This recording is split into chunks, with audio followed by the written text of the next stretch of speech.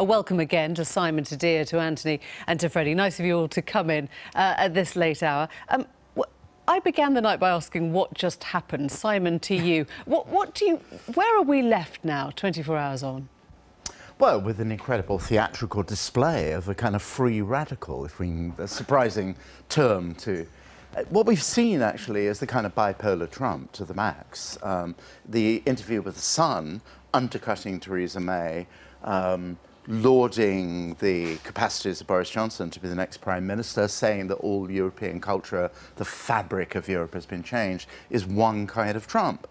Absolutely authentic Trump, then followed by the sweeping up exercise today. So the, the effect of that is pretty much actually we were in the position of often his own administration, not having a clue which is the real Trump and not knowing, therefore, how you could proceed. Doesn't have a clue, doesn't care, just made the wrong call on Thursday night. How do you read it, Freddy? Well, I think one of the myths about Trump is that he's wildly unpredictable. He's wild, but it's not really unpredictable. No. I, I, think you could, you know, it'd be impossible to predict how these, how today would have played out. That would take a real prognosticator.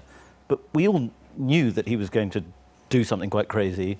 We didn't know what it would be and then there would be a press conference and he'd roll back from it and try and be more sympathetic. That's how he rolls. It's how he rolls with Kim Jong-un, it's how he rolls with Theresa May. But I, I, think the overriding thing is just the hilarity of it. And then actually, I mean, even people who really, really hate Donald Trump just find it funny now. And that's, something's changing there. I so think. funny is dangerous or funny is good? It's hard to know. I mean, I tend to think funny's good uh, because I'm a very shallow person. because you're not taking him seriously in terms I'm, of the danger that he may represent or that people believe I've never taken him literally all seriously, no. but it's, it's, it's not a side-splitting gas, really, without being too solemn, to basically nearly destroy the WTO, to sort of attack NATO so that, you know, bodies are rolling around. No, it's, are, it, it's not... grave, grave matters of state, and I realise they are serious yeah. and important. But I just defy anyone not to watch that press conference and laugh. Let's get back to the matters of state. Did he leave Theresa May looking a fool? Did we feel sorry for her, Dia? What was your takeaway? I thought the expectations were so low. We were expecting Theresa May to look and act really, really awkward around him. And, and I, I, do think he is unpredictable, if I may uh, disagree with a little bit with Freddy. I do think he's uh, a bit un unpredictable. I'm not sure we knew how exactly he was going to behave, particularly after that um, Sun interview. Um, but it seemed to me that she didn't look quite as awkward as we expected her to look. Um, in the end, when he did, I know, in the end, when he did row back, um, it seemed like they did manage to uh, finish it off quite amicably. Uh, but the two things that I took away from it is that at least for the duration of the um, press conference. I don't know what's going to happen afterwards if Trump is going to change his mind. But for the duration of the press conference, um, Downing Street had managed to convince him of two things, it seemed. One is that she cannot walk away because she is stuck. That's what he said. That's a direct quote. Um, and also from the EU, that is. Um, and the other, the second thing is that he said that he had read reports that a deal, if the Chequers um, uh, agreement to, was to go ahead, uh, a deal uh, with the US would not be possible. He has now changed his mind after speaking to her. I, am taking that as Downing Street. And apparently a deal now is absolutely possible. So I wonder where it leaves us with this intervention by US presidents. Uh, you work very closely with Obama. He memorably intervened just just before the Brexit vote itself, advising against it. Did he set a precedent now that Trump has just followed, or was that a mistake, or is it ever the right moment for a US president to crack Well, the two things affairs? are not remotely similar he came here and he said something which I regretted. He said back of the queue. I thought that was not the right thing to say. Did you tell him that at the I time? certainly did. I, well, I didn't uh, say to him that he should say it, and I was critical privately uh, of that decision to say it. Did David but, Cameron say uh, well, no, I have no idea whether he did or not. But this was stated during a visit uh, to support a head of state uh, during a visit to the UK. And he was asked many times because the US, remember, has a very significant interest in the decision about Brexit. The decision that the president has now made was made during a state visit to undermine a head of state when she was so rolling out a head cabinet. Is it? So it's okay to come in as a loyal voice, but not to come in as, if you like, well, a disruptor in chief. Next also, words. the tone of those two comments, I think, cannot be compared. Also, it was based on a fundamental misunderstanding. If I can just get into this point about the free trade agreement, a lot of U.S. companies, and I spoke to many of them over the three years of my tenure in Brussels uh, want the UK to remain closely aligned with the EU because Britain has been a gateway to the EU market. Same reason for the Japanese companies who invested here. That's the first thing. So to think that American companies all want the UK to ditch EU regulations is incorrect. The second point is on agriculture. It is true it's a big bone in our throats that the EU has these regulations about hormones and GMOs and so forth. But the idea that the UK is going to ditch all of those regulations, do a free trade deal, is crazy. It's not Right. going to happen. And this was Ed Miliband's point just earlier. He doesn't actually like the idea of a trade deal with the US. He thinks there is nothing particularly to trust in that, either with Trump or with what it means for future standards in the UK. I, th- I- think Trump is sincere when he says that he would love a beautiful trade deal.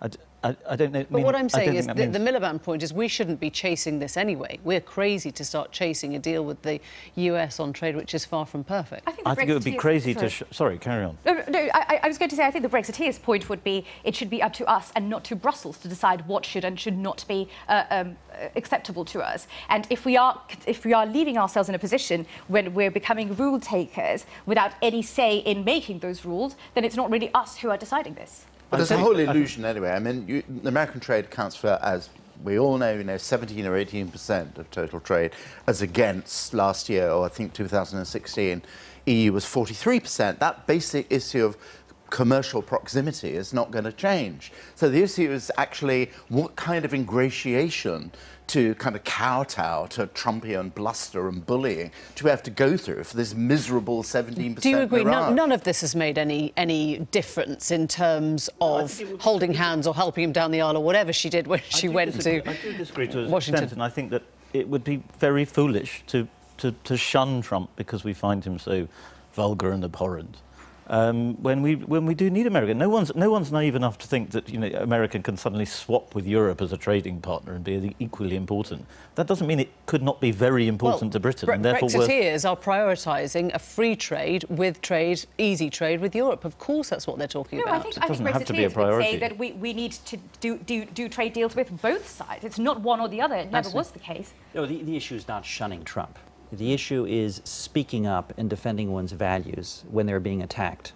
For courts are being attacked or justices are being attacked. and have we done that enough, do you think? Here in this country? Yes. Well, I was disappointed when I saw in this country as well, during the Brexit debate, judges being attacked and the media being attacked. This is a very dangerous road. And I think you've written about Enemies of this as well. people. Enemies of the people. We are not that you know, many steps away from the 1930s. So it is important for leaders to stand up and say certain things are unacceptable. And for the EU to remind this president that it has leverage and is going to use leverage Okay. on trade in particular. So, on that note, should Theresa May have told Trump he was utterly wrong and misguided and out of step to make the remarks he did on the Brexit deal? And critically, what are her MPs and voters thinking now about this Chequers proposal? it won't have done it a whole lot of good, you have to say. I mean, the notion is actually that when Obama, I, I agree actually that it was regrettable that he chose to intervene, it famously had a backlash effect.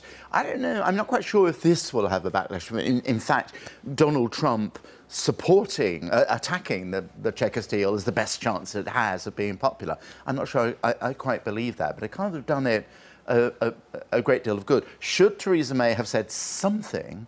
Um, maybe she did. Maybe she did in private, but I'd be kind of surprised. The answer is yes, she should. It's not just a matter of actually, I agree with Ed Miliband, but it's not just a matter of kind of abstractly defined human rights, basic civil decency, separating three year olds from their parents not really being a good or moral idea. It's a case of actually attacking, you know, making NATO inoperable.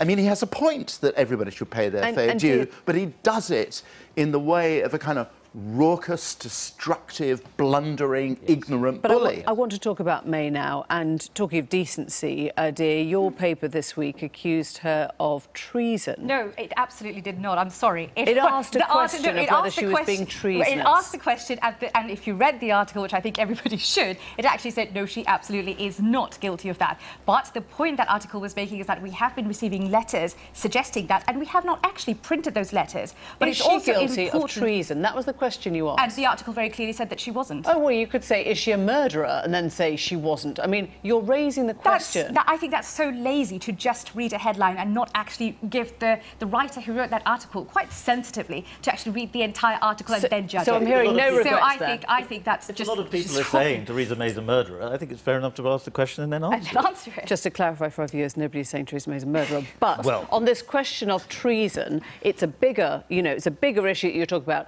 Do people feel that she has betrayed the Brexit ideal to the point where they're not going to back this Chequers? It will, if anything, uh, if, if, if, if, if we can read anything from the, the hundreds and thousands of letters that we've been getting, then a lot of people are very, very worried and feel betrayed that she, as a Remainer, asked Brexiteers to lend her their support, which they did, and now they feel betrayed. You, you know how the EU works better than anyone here. Um, do you think that she will get this as a deal through the EU? No.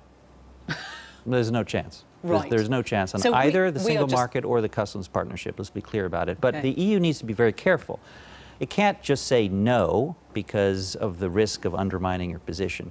But what's been proposed are things, in most cases, that cannot be accepted. Let, let's be clear about something. The UK, while it's been a member, has tried to have all of the advantages of being a non-member. Now that it's seeking to be a non-member, it's seeking to have all the advantages of being a member. The EU wants to have a single market for goods while having a lot of the advantages of uh, being out, right?